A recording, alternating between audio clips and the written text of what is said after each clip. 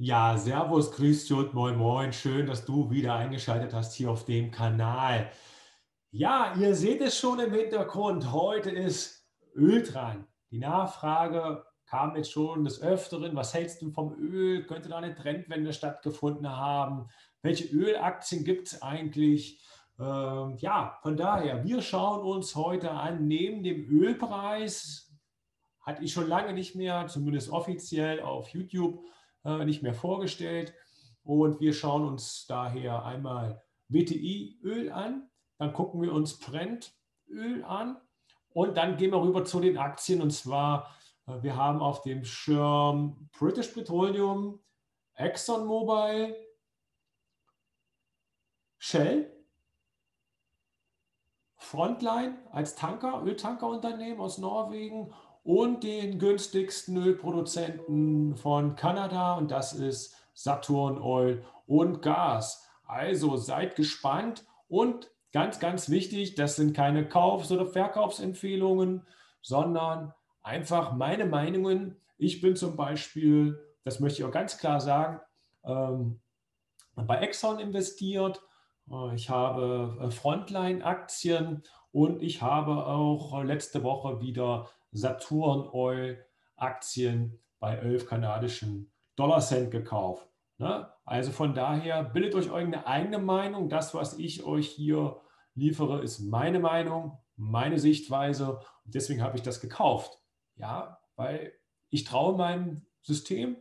Ihr müsst euers haben. Aber dennoch werde ich oft gefragt, was machst du jetzt aktuell? Oder was kaufst du gegebenenfalls auch in Depots deiner Kunden mit ein über den Vermögensverwalter. Okay, also rüber an Chart, Fragen bitte unten drunter und Kommentare natürlich auch. Und dann versuche ich die immer, wie ihr es kennt, zeitnah zu beantworten innerhalb von 24 Stunden. Also, los geht's. So, hier seht ihr den Ölchart und zwar von der Sorte West Texas Oil. Das heißt, es ist eine nordamerikanische äh, Ölsorte, die wir uns hier gerade anschauen. Wir springen gleich rüber. Denn es gibt ja hier eine Besonderheit. Die letzte große Analyse zu WTI-Öl hatte ich ja im Juni letzten Jahres gemacht, 2019. Da befand sich der Kurs noch hier unten. Als Trade damals hatte ich vorgestellt, wir sollten nochmal hochlaufen auf ähm, 66, vielleicht sogar 72. Zielbereich des Trades war 64 Dollar und dann entsprechend die Gewinnmitnahme. Das ist abgearbeitet worden hier mit dem Hoch bei 65, 66 ähm, und danach kam ein starker Abverkauf. Dass der dann so drastisch ausfällt, schaut euch das Video an, äh, geht glaube ich nur sieben Minuten hat irgendwie keinen interessiert, aber jetzt kam halt wieder die Nachfrage, macht doch mal wieder was zu Öl. Von daher mache ich jetzt auch was zu Öl und stelle euch natürlich entsprechend auch noch ein paar Aktien vor, die ich halt spannend finde. Denn übergeordnet könnte halt hier tatsächlich ein Trendwechsel stattgefunden haben. Wir springen jetzt rüber äh, zur Sorte Brent, weil eigentlich hat es diesen Chart ja zerschossen das war halt die Anomalie, dass Öl äh, im, im April, 20. April war das Tief 2020, also in diesem Jahr. Und die Besonderheit war ja letztendlich gewesen, dass einige sich eingedeckt hatten bei 1, 2, 3, 4, 5, 6, 7, 8 Dollar oder 9 Dollar und äh, dachten, Öl kann nicht negativ werden. Sie hatten aber die Rechnung ohne den Wirt gemacht, beziehungsweise ohne die Raffinerien die komplett ausgebucht waren und ihre Lager voll hatten. Äh, aber auch die Tanker waren komplett voll von den ähm, Großspekulanten, die auf steigende Preise bzw. Arbitragegeschäft äh, gesetzt haben. Die haben sich schon bei 10, 12 Dollar die Tanker gleich äh, für sechs Monate gesichert, weil man sich das Öl für 12, für 12 Dollar kaufen konnte und sechs Monate später für über 30 Dollar wieder verkaufen konnte und äh, abzüglich der Marge für die Tankermiete war das natürlich ein lohnendes Geschäft. Nur dann gab es keine Lagerkapazitäten mehr. Und einige Trader wussten nicht, dass man eine Abnahmeverpflichtung hat, entsprechend bei den Futures, die sie gehandelt hatten, und guckten dann in die Röhre und das Tief wurde dann bei unter 40 US-Dollar, also minus 40 Dollar, ausgebildet. Und daher ist der Chart normalerweise zerschossen. Ich betrachte das jetzt als Anomalie. Nichtsdestoweniger gehen wir rüber zur Sorte Brent, weil die wurde nicht so stark abverkauft. Ja, auch sie wurde abverkauft, aber das Tief, wenn wir uns das einmal anschauen, war im, auch zum 20. April, aber äh, entsprechend bei 15,98 Dollar. Ne, also knapp 16 Dollar. So, übergeordnet. Was hat stattgefunden? Also schaut euch das alte Video an, da bin ich auf die harmonischen Verhältnisse eingegangen, will ich heute nicht machen. Also es könnte hier übergeordnet eine A, B, C, D, E und mit diesem Abverkauf letztendlich diese komplette äh, Korrekturphase zu Ende gegangen sein. Und zwar am 20. April 2020. Hier im Hoch 98, 12 verdammt lange Jahre. Ähm, tja, was passiert jetzt? Wenn wir uns dieses Formationsmuster angucken, könnte, ja, hätte, könnte, sollte, was auch immer, könnte diese Formation 98 begonnen haben und mit diesem Hochlauf 2008, also knappe zehn Jahre, ist hier was zu Ende gegangen. War es eine 1? War es eine A? Who knows? Ist irrelevant, denn hier sehen wir A, B, C, D, E, dass auch hier was zu Ende gegangen sein dürfte. Ist es die 2? Ist es eine B? Wer weiß. Aber egal, ob das jetzt eine 1, 2 oder eine A, B und gegebenenfalls der Hochlauf eine C ist.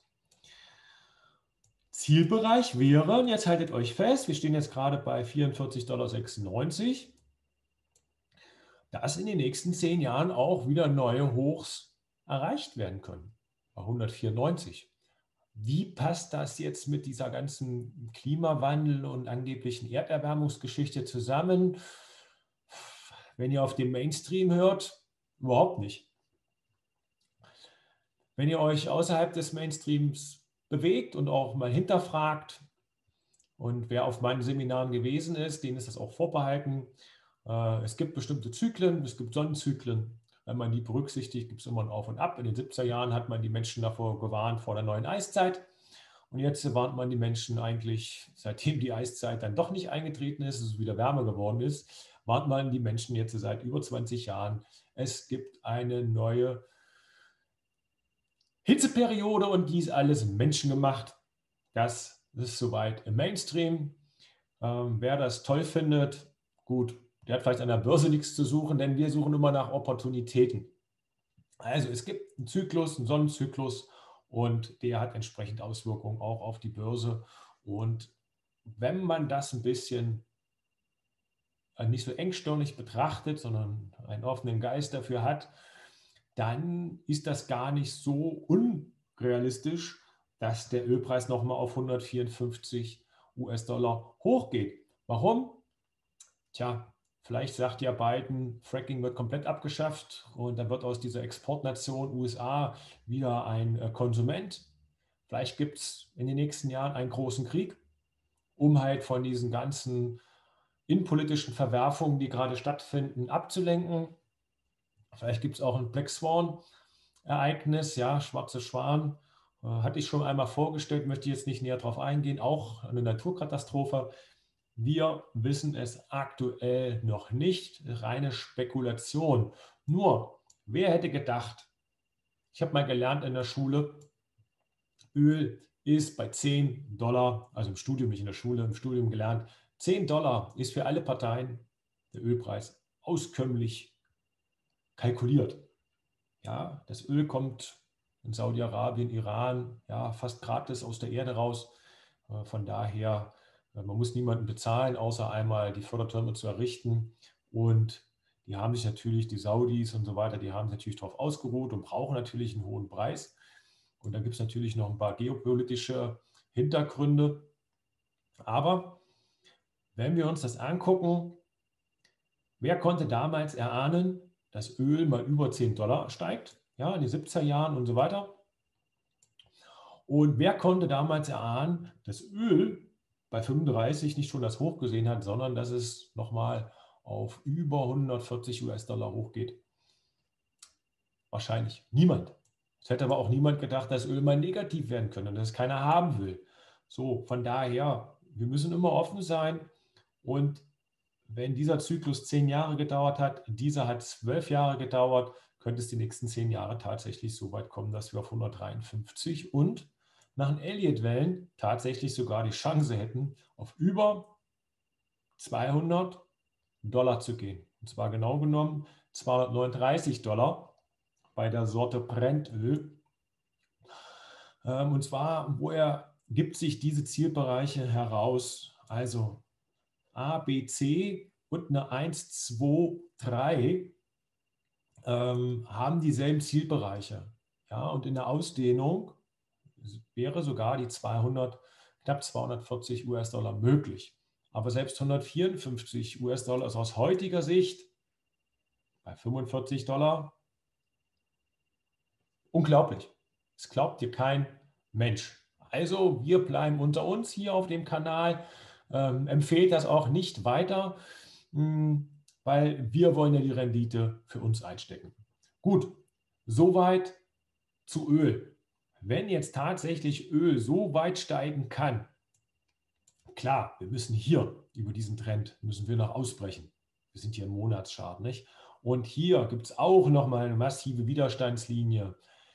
Nur wenn hier eine 1, 2 und dann eine, gegebenenfalls eine 3, 4, 5 läuft, um dann hier im Hochlauf eine Welle 1 abzuschließen, dann äh, würde es mich nicht wundern, hier einprallen, nochmal einen Rücklauf, um dann hier durchzustarten. Wir gucken uns jetzt aber auch ein paar Aktien an, die natürlich entsprechend auch gelitten haben. Wir gehen rüber zu British Petroleum. Leider gibt es hier den Chart der Londoner Börse nicht ganz so lang. Was ich aber euch zeigen möchte bei British Petroleum, und die haben eine Rendite, zumindest in London, Vorabzug, Brokerkosten und so weiter von 6,4 Prozent. Äh, schaut euch das mal an. Ja, RSI, hier ist ein Set, also ein Tief, hier das Tief. Und dann sehen wir hier ein neues langfristiges, tieferes Tief, in der Woche vom 26. Oktober ausgebildet. Aber RSI zum Beispiel macht es nicht mehr mit. Das heißt, wir haben hier eine starke Divergenz auf Wochenbasis. Dann habe ich hier nochmal meinen Elliott Wellen Oszillator mit bei. Auch der sagt, hier könnte eine 3 zu Ende gegangen sein. Aufwärtsbewegung ABC 4 und hier darunter laufende Welle 5 würde das ebenfalls bestätigen. Das schließt hier nicht aus, dass vielleicht doch nochmal ein Runterlauf kommt. Aber 6,4 Prozent. Kann ich mir das vorstellen, nochmal auszusitzen und ein Risiko einzugehen, vielleicht, dass der Kurs nochmal um 30 Prozent zurückgeht? Klar. Ich glaube nicht, dass eine British Petroleum pleite gehen wird. Ja, dafür verdient sie auch noch Geld. Wir gucken uns jetzt an Exxon. Exxon Mobil. Auch hier, blendet mal hier die Zahlen aus, die ihr hier seht. Ja? Auch hier wieder eine Divergenz. Das heißt, hier könnte tatsächlich eine, eine Korrekturphase zu Ende gegangen sein. Und zwar eine sehr, sehr lange Korrektur. Und wenn wir uns das übergeordnet im Chartbild angucken, bei ExxonMobil eine 4, 5 beendet, die 5 beendet die Welle 3. War auch eine sehr lange und ist nicht unüblich, dass im Rohstoffsektor die 5 die längste ist. Das würde hier passen von 2002 bis hoch zum Mai 2008, 3 und dann die übergeordnete A, B, C. Das heißt, auch eine ExxonMobil würde dann in den nächsten, in den nächsten drei, vier Jahren es sogar schaffen, wieder hochzulaufen und neue hochzumachen. Das sind vom aktuellen Standpunkt aus eine Kursverdreifachung und das bei einer Dividendenrendite von aktuell 9,4 Prozent. Es kann sein, dass sie natürlich nochmal gekürzt wird in den nächsten ein, zwei Jahren, weil man sich äh, umorientieren muss. Man hat aber zumindest ein ganz klares Chancen-Risikoprofil, weil man sich hier unten absichern kann. Ja? Auf dem 29. Oktober tief, da kann man sich absichern, einen Stop-Loss einbauen und würde hier entsprechend long gehen. In dem Fall machen wir das einmal. Was ist das für ein Chancen-Risikoprofil? Sichern uns hier unten ab. Hochlauf auf 72 und zwar, wo sind wir hier? Sind wir an der, ist das US-Dollar, ähm, hätte man Chancen-Risiko-Verhältnis von 4,27 zu 1 auf Sicht. Na, schaut hin, auf Sicht der nächsten paar Monate sogar. Klar müssen wir hier drüber kommen, aber wir hätten eine Absicherung auch in Form von einer recht hohen Dividende hier bei Exxon.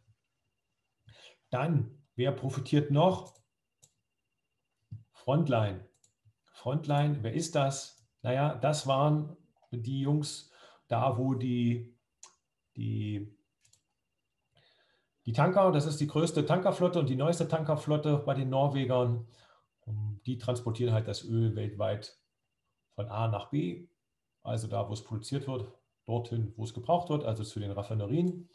Und Frontline profitiert natürlich dann aufgrund der Nachfrage und haben natürlich dreieckig verdient in der Zeit von ähm, im April, Mai, wo die Kapazitäten eng waren und die Großspekulanten die Tanker gemietet haben. Frontline war einer davon, die davon profitiert haben. Also die haben in dem in dem einem Quartal, in dem, also im zweiten Quartal, so viel verdient wie die zwei kompletten Bilanzjahre zuvor. Das heißt, hier kann ich mir schon vorstellen, dass eine Frontline mh, hm, wieder hier hochläuft, ja, in dem Bereich, in diesem rot markierten Bereich, wäre vom aktuellen Stand na, eine knappe Verdopplung.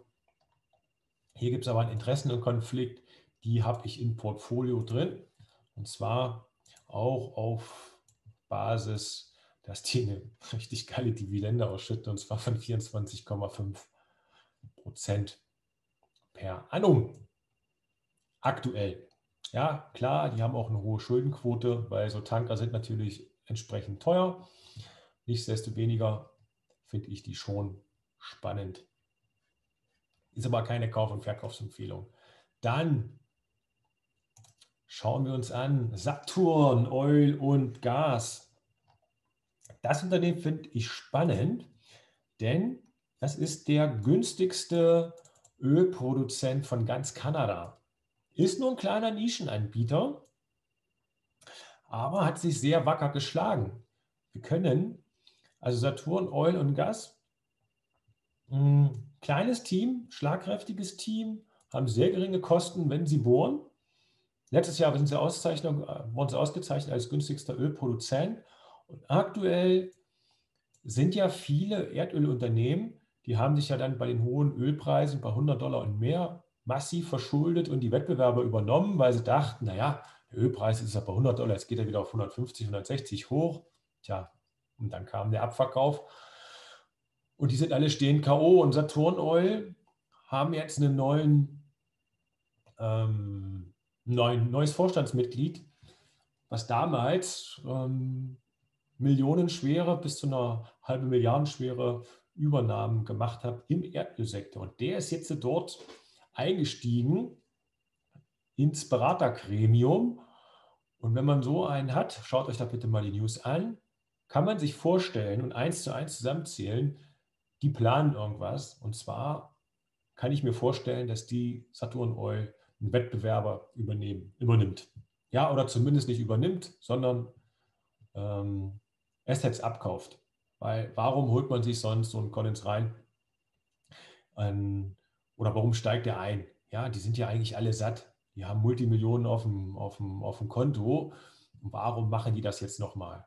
Ja, weil die sagen, jetzt sind die Opportunitäten gut, die anderen sind im, im, im Stress und dann kaufen, kann ich mir vorstellen, dass die sich jetzt Ölfelder aufkaufen zu dem günstigen Preis, der aktuell auf dem Markt ist. Und jetzt gucken wir mal an, Saturn Oil, die haben sich sogar ganz gut geschlagen, wenn man die sich auf, auf Jahressicht anguckt packen wir doch mal hier Royal Dutch dazu oder eine British Petroleum. Eigentlich die großen haben sich alle identisch entwickelt. Wenn ihr euch das mal anschaut, ähm, auf, auf Jahressichtvergleich, ja, hat Saturn Oil die outperformed. Im Runterlauf waren sie relativ gleich. Dann hat aber Saturn Oil sie wieder outperformed. Das heißt, das Tief, was sie unten eine, eine BP oder Exxon gemacht haben, äh, oder eine Shell, hat Saturn gar nicht mehr mitgemacht. Ne? Die hatten ein höheres Tief. Und ich kann mir vorstellen, dass die jetzt äh, in den kommenden Tagen oder beziehungsweise in den kommenden drei, vier Monaten hier entsprechend ausbrechen werden.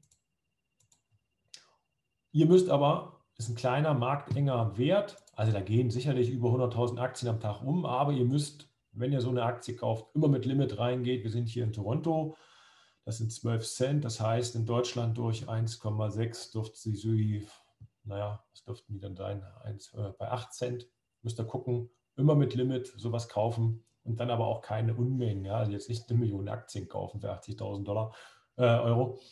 Ähm, aber als Beimischung mal 1000 oder 2000 so eine Aktie, ja, aber nur mit Limit. Ja, sonst äh, kaufst du den Markt hoch oder hast eine Marktbeeinflussung. Genau. Und jetzt schauen wir uns noch